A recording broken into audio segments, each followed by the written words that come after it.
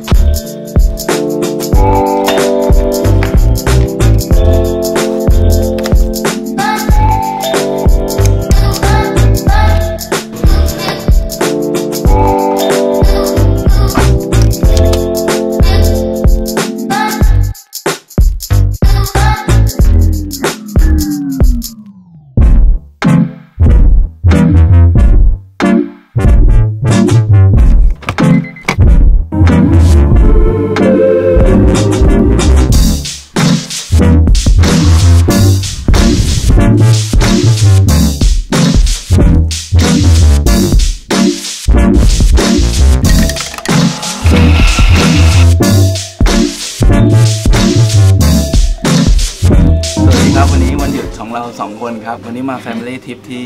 นครนายกกัน เช็คพอยต์แรกก็คือร้านกาแฟ ชื่อร้าน กาแฟกับต้นไม้ เออ ชื่อร้านกาแฟกับต้นไม้ครับ ลองหาใน Google ครับไม่ยาก แล้วก็เส้นนี้มีมีแต่ร้านขายต้นไม้ร่มรื่นมากครับ วันนี้อากาศดีด้วย ด้านหลังที่เห็นเป็นรอยจารึกจากลูกค้าที่มาที่ร้านนี้นะครับ ก็เป็นคำพูดเล็ก ๆ น้อยๆที่มอบให้ร้านอืมส่วนกาแฟอร่อยครับ แล้วก็ที่สำคัญราคาไม่แพง แก้วละ 40 50 บาท แล้วก็อร่อยใช้ได้เลย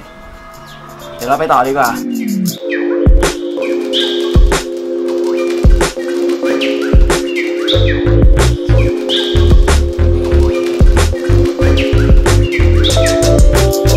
โอเคครับตอนนี้เสร็จจากร้านต้นไม้กาแฟและต้นไม้เหรอใช่โอเคก็สั่งไป2แก้วครับ สั่งอะไรบ้างนะพิมพ์บูมอเต้น กับมอกกาโอเค2แก้ว 90 บาทใช่ไหมใช่สองแก้ว 90 บาท โคตรถูกอะ โอเค มาเลย ลุยต่อคุณขายอยู่ไหนคะแวะซื้อดอกไม้ครับ ซื้อดอกอะไรนะแม่ เชียงไฮ้กับคุณนายตื่นสาย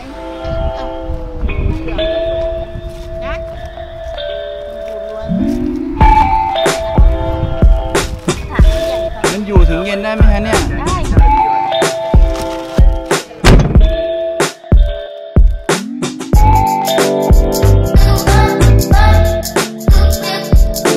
ตอนนี้เรามาอยู่ที่ดัชดารีสอร์ทนะฮะ ก็มาชมดอกไม้กัน ตอนนี้ยังมีงานวันแม่อยู่ ก็เลยมาประมาณเอ่อเกือบ10 วันละใช่อืมเลยมาประมาณ 10 วันละก็เดี๋ยวไปดูกันว่าในนี้มีอะไรบ้าง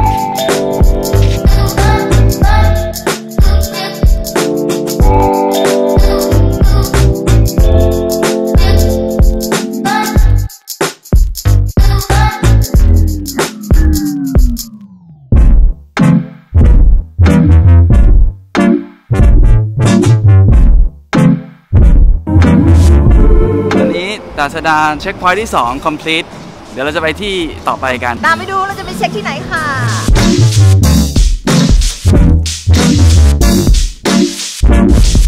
โอเคครับ ตอนนี้เรามาถึงเวโรนาแล้วนะครับ เดี๋ยวออกไปเที่ยวกัน ไป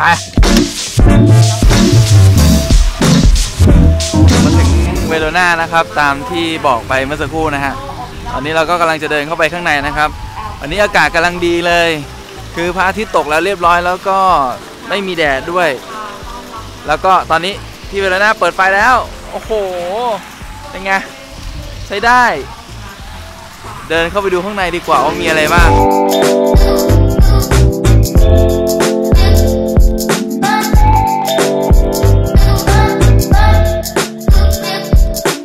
โอเคครับวันนี้ก็มาถึงเวโรนาได้เรียบร้อยนะแต่ว่าน่าเป็นที่น่าเสียดายที่ฝนตกเราก็ถ่ายรูปได้แป๊บหนึ่ง ได้มาสัก2อสใบก็โอเคนะวันนี้สนุกดี ยังไงถ้าเกิดว่าเพื่อนๆมีเวลาแวะมาเที่ยวที่ปราจีนบุรีเนี่ยก็แนะนำเวโรนานะ แต่ถ้าจะให้ดีแต่ถ้าจะให้ดีก็ต้องมาตอนเย็นช่วงค่ำๆหน่อยเพราะว่าเขาจะเปิดไฟสวยๆแบบนี้สวยๆแบบนี้ สวยมากสวยมากโอเค ท้องฟ้าสวย ท้องฟ้าสวยเอ้ยวันนี้ท้องฟ้าสวยจริง ก็คือมันไม่ใช่ฟ้าที่ร้านเป็นน้ำเงินเลยดูดิเออใช่มันเป็นน้ำเงิน โอเค เดี๋ยวนะ เนี่ยมันเป็นน้ำเงินเลยดูดิ นี่นี่ไม่ได้แต่งสีนะ นี่แบบเป็นน้ำเงินเลยอะน้ำเงินเลย โอคือเคเมื่อกี้ถ่ายกับ iPhone ก็น้ำเงินเลยอะ ก็วันนี้ก็ขอบคุณมากนะครับที่ติดตามแล้วก็เดี๋ยวครั้งหน้าเราจะไปเที่ยวใหม่ subscribe ในช่องของผมด้วยนะครับ อย่าลืม แล้วก็เจอกันใหม่ครับ บ๊ายบาย